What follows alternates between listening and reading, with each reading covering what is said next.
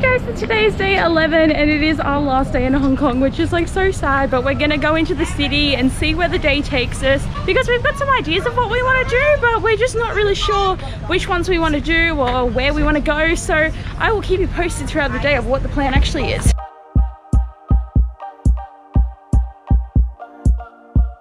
Okay, so we've just gotten off the train and we have found the temple. So it's a Wong Tai Sin temple. I'm pretty sure that's the name of it. But the entrance is just over here.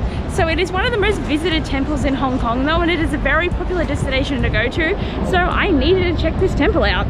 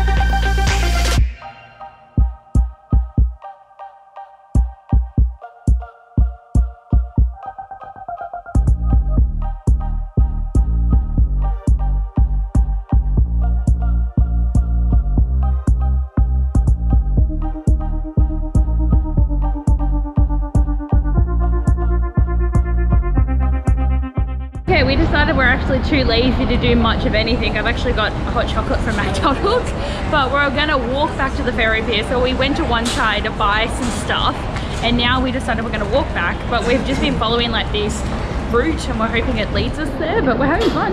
And we're doing a walk, not the walk we were gonna do, but we're still walking. Okay, so there's all this construction going on, but we've found the Wan Chai ferry pier. But what's cool is the Golden Bikini, I think is the name of it, is right over there somewhere and we kind of want to go see it but we're like there's all this shit going on.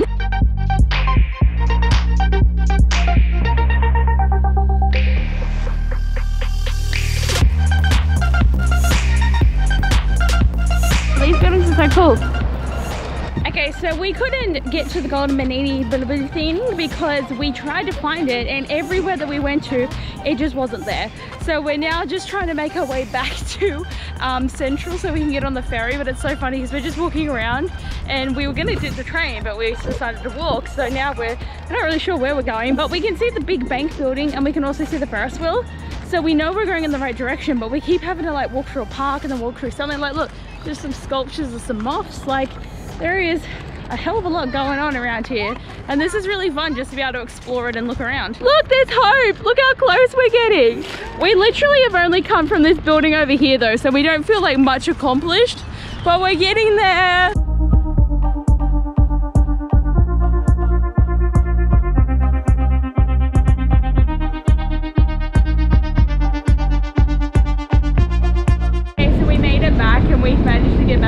need to catch the Moo ferry from, but we had 40 minutes to kill, so we decided to get on the Star Ferry one last time just to see the nice view again. So we will just be catching it there and back, but once we get back, that will be seven times we've done the trip, which is like, I think a pretty good amount. Like last time I only went on it once, so this time we've really tried to go on it as many times as we could.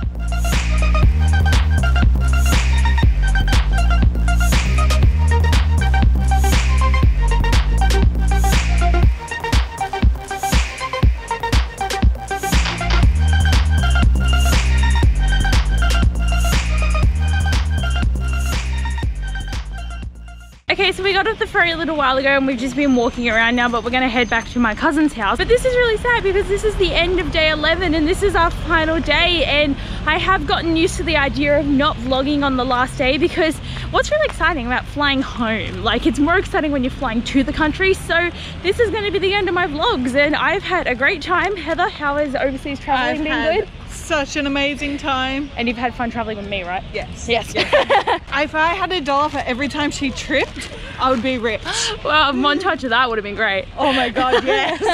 okay, total location change, but I just kept walking and didn't speak. But it is still technically light out, but because we're only going home to go out to dinner, then probably go to sleep and get ready for the airport tomorrow, there's not much more I can really vlog about. But yes, had a great time. I hope you enjoyed watching the videos and seeing me do Hong Kong take two, which I gotta say, it was a lot of fun. And I don't know if I could technically pick which was my favorite because when I went to Hong Kong in March, I'd never seen it before. And this time I had seen a lot of it before, but I was also only like me and Heather and not the whole family. So a lot of pros and cons, but both times have been amazing. And Hong Kong is definitely one of my favorite countries I've been to. But anyway, guys, thanks for watching this video. I hope you enjoyed and I'll see you for my next holiday. Bye. Bye.